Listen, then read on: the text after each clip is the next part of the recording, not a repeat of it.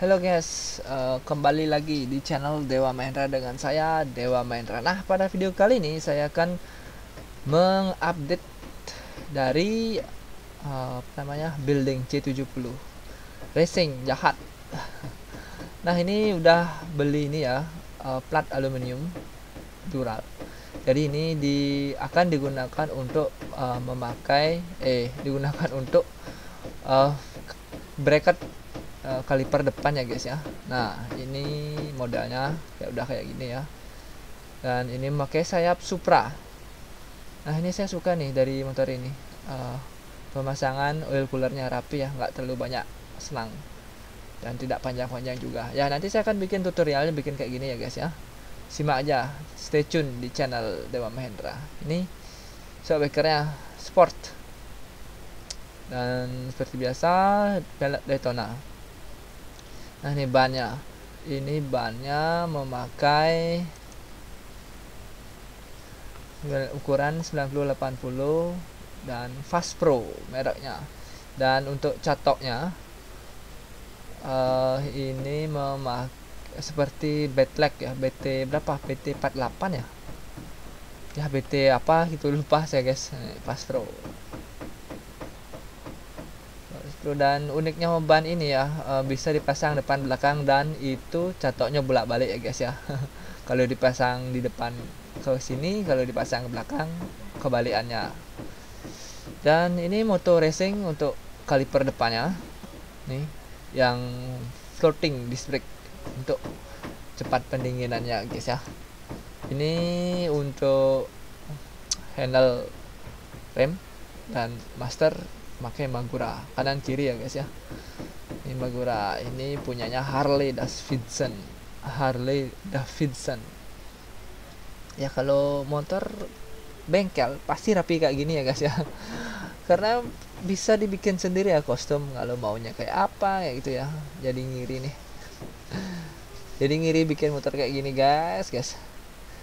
Nah ini knalpot yang uh, bekasnya mahal karena sulit dicari. Oke okay, full aluminium. Dan untuk coil pakai Blue Thunder. Dan FYI ini untuk CDI memakai Shogun Kebo ya. Yang nah, nah nah ini untuk saklarnya. Ini ada lampunya LED nanti saya uh, nanti saya akan coba hidupkan ya. Sama yang punya juga nah ini ride it ternyata kaliper belakangnya. Udah dikonfirmasi ya guys ya. Standarnya bentuknya kayak gini. Ya siapa tahu teman-teman pengen kayak, kayak sadar kayak gini juga.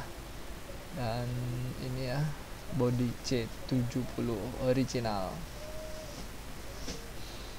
Nah ini sayap supranya saya akan shoot lagi. Siapa tahu teman-teman mau ganti sayap bisa menjadi alternatif pilihan. Ini gas pedal ini yang KW-KW-an ya. Ini dipasang press presisi ya seperti original jadinya guys guys. Ah bikin bikin racun motor ini guys. Ya. Ini kita ini selang rem selang eh selang rem selang bensin. Nah ini untuk bautnya di ini di bor lagi ya ini untuk manifold mio nya biar masuk bautnya. Ini rantai tipis ya ini ukuran 314 eh 315 sorry.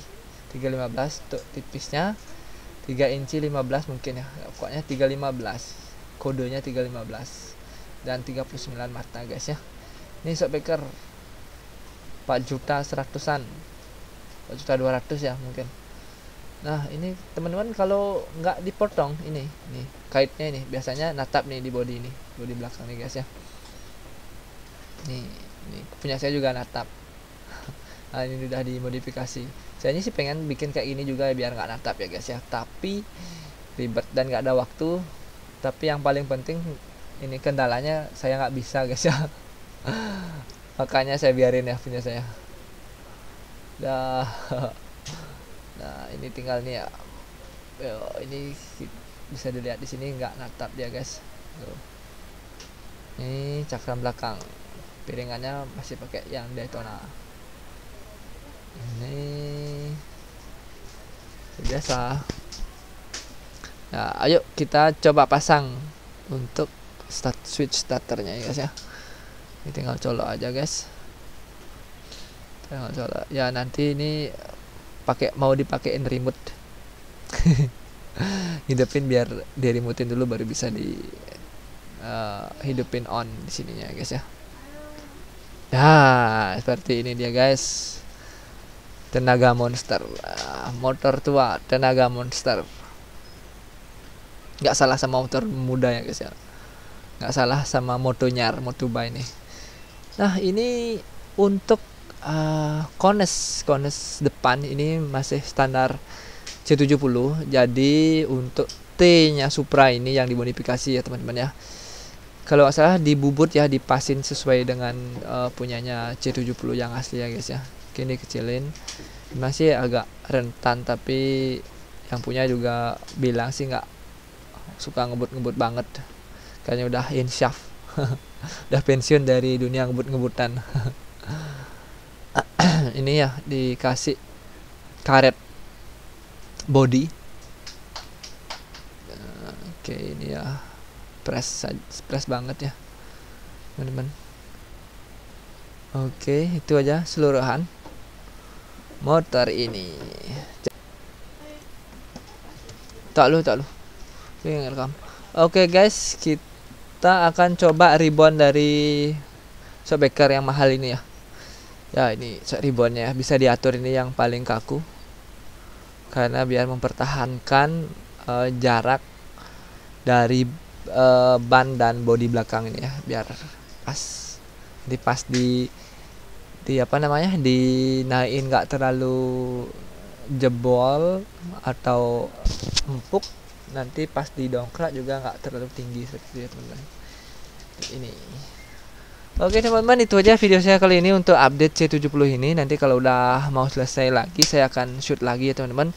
Dan jangan lupa klik like, subscribe, dan komen video ini Agar saya lebih semangat untuk membuat video-video yang lebih menarik lainnya di dunia peroda duaan. Oke salam gaspol. Terima kasih